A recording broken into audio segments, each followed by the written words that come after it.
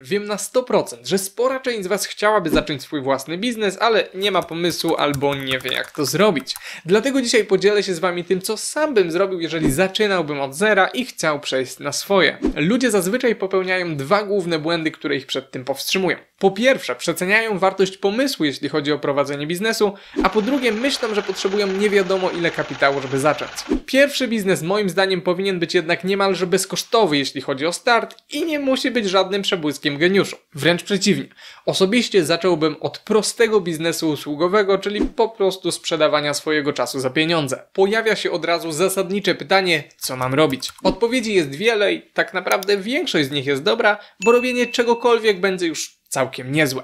Oczywiście idealnie byłoby zacząć ze świetnym biznesem, który jest naszą pasją, a przy okazji świetnie się skaluje, ale szansa, że wpadniemy na coś takiego zastanawiając się co robić jest co najwyżej niewielka. W mojej opinii lepszym rozwiązaniem będzie zamieszać trochę w kotle poprzez podjęcie jakichkolwiek inicjatyw i sprawdzenie co wypłynie na wierzch. Prawda jest taka, że większość świetnych przedsiębiorców ma za sobą masę nieudanych pomysłów lub przynajmniej pomysłów, które były całkiem niezłe na start, ale z których potem wyrośli.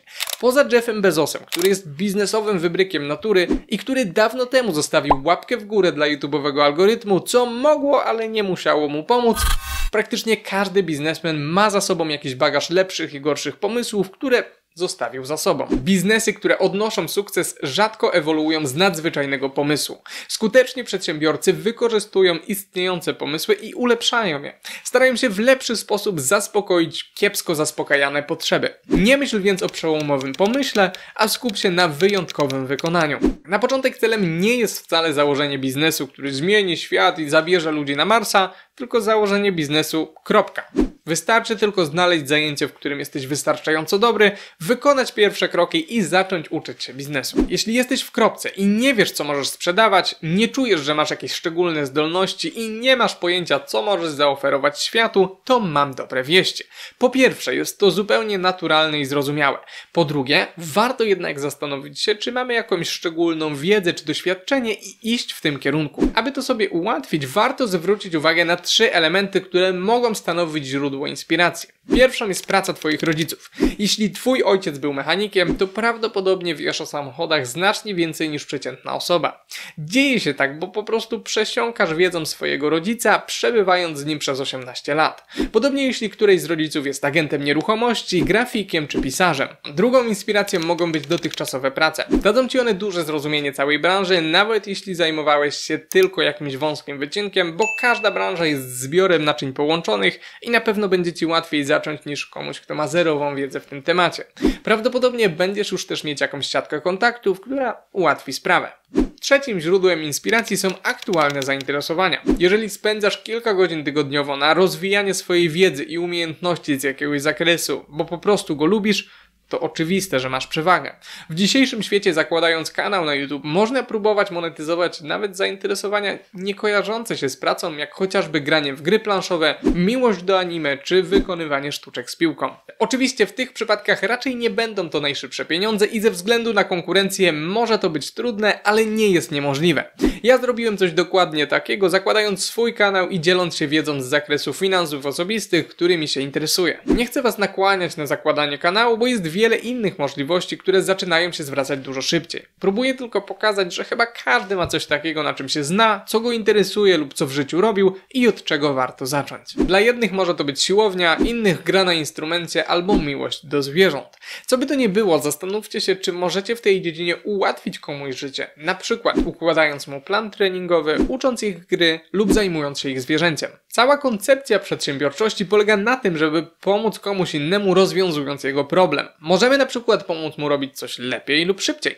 Zastanówcie się więc, jaki jest największy problem, jaki możecie rozwiązać. Eliminując problem, który będzie miał największą wartość dla waszego klienta, zarobicie najwięcej. Idąc w stronę sprzedaży usług, szczególnie na początku nie będzie się to bardzo różnić od pracy, z tym, że zamiast jednego szefa mamy kilku.